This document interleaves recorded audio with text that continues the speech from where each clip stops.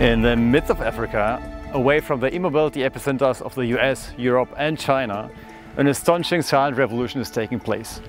Let me take you to Uganda, where electrification is much more than just a future plan, but a rapidly evolving reality. Together we will explore the country's commitment to clean energy, we will explore the e-mobility ecosystem and the innovative strides of local companies driving locally designed innovations. Uganda, often referred to as the Pearl of Africa and home to the River Nile, is not only rich in natural beauty, but also in renewable energy resources. Over 83% of electricity is generated from hydroelectric power. Within the value chain from power generation to electric mobility, Uganda's carbon footprint is remarkably minimal, leveraging the overall cleanliness of future-proof drivetrains. To learn more about Uganda's economic and ecological advancements, I made my way to Kampala. Here at the Science, Technology and Innovation Secretariat, I am meeting Allan Muhumuza, who is a team leader for mobility and the person to approach when trying to understand Uganda's ecosystem from a macro perspective. My role is to really coordinate and oversee the entire mobility ecosystem in Uganda and ensure that all these players in the ecosystem thrive. So we are looking at players in this space who are developing, making and selling of mobility solutions. This could include buses, uh, trucks, all kinds of vehicles, uh, motorcycles, bicycles, wheelchairs, anything that can enable people to move from one point to another. I have uh, keen interest in seeing how we can build uh, local solutions that solve our indigenous problems, solutions built in Africa for Africa by Africa, and being a part of a generation that is seeing how we can solve especially our inherent mobility solutions to address issues of congestion, transport-based carbon emissions, to have sustainable mobility solutions on the road is very exciting. The efforts we are currently pursuing definitively as government and private sector in Uganda uh, should enable us to create over half a million jobs directly and indirectly um, and reduce our transport-based carbon emissions by up to 25% by 2040. It's estimated that the e-mobility market will be about 1.5 trillion by 2030. I think a share of that needs to be within Africa, specifically in Uganda. So right now, um, they, we have created a consortium of uh, mobility players within the country and specifically looking at e-mobility as a key category under this space, we have over 80 players that we have mobilized, and these are players who are in various segments within the ecosystem. Let us dive deeper into Uganda's unique mobility ecosystem. How is the electric evolution different from what we know taking a European or American perspective? One should not project Europe's car-dominated mobility market onto Uganda, as Ugandan mobility is characterized largely by vans and buses for public transportation, as well as two-wheelers, the famous boda bodas. Let us first take a look at the buses, which are a very common way to travel, especially as the bus networks extend far into rural areas and even across borders. Uganda aims to be at the forefront of electric bus production. As Allan says, creating an electric bus for Uganda is a boost for the country's economy.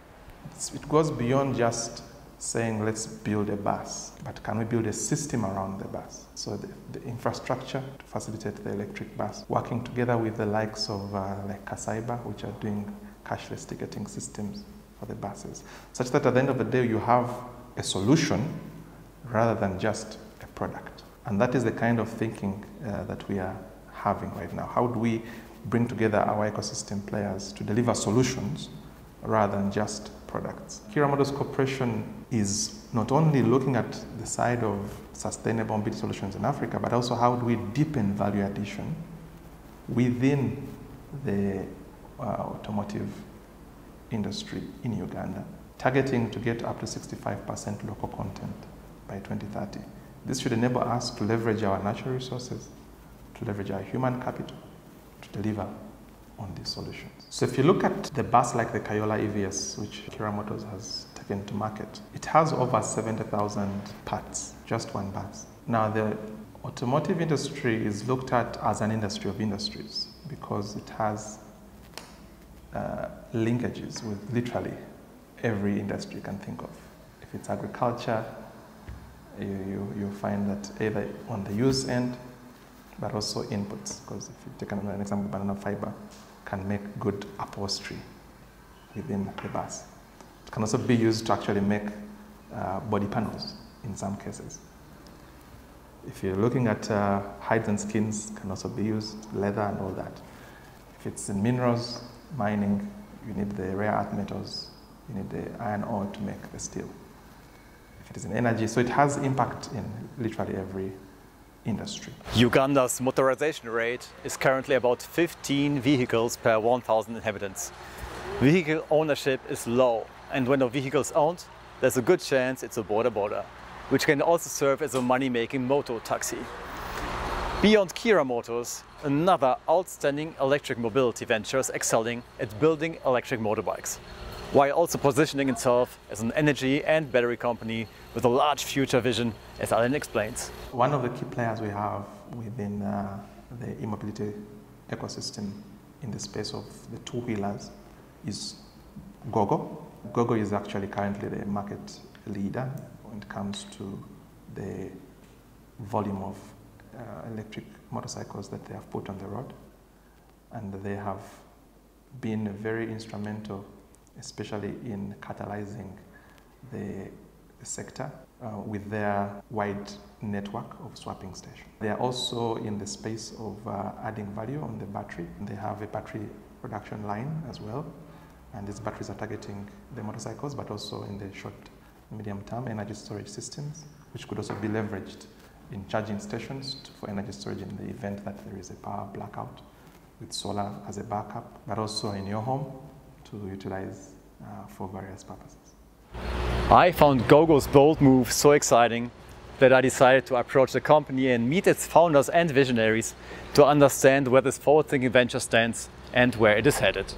In my next coverage on Uganda's mobility, I will take you to the heart of Kampala, where we will explore what this electric company is all about and how the driving forces behind the brand are co-shaping Uganda's future mobility. Apparently we are going with GoGo, which is like a bike on the go uh, very easy to pronounce, and uh, we're doing a lot of brand visibility right now. GoGo was a shared dream of um, independence, of working towards uh, a sort of a goal or a vision that uh, motivated us. Here's a little bit of a, a, blank slate of paper, and we have a, a unique chance to, to design a renewable energy uh, ecosystem.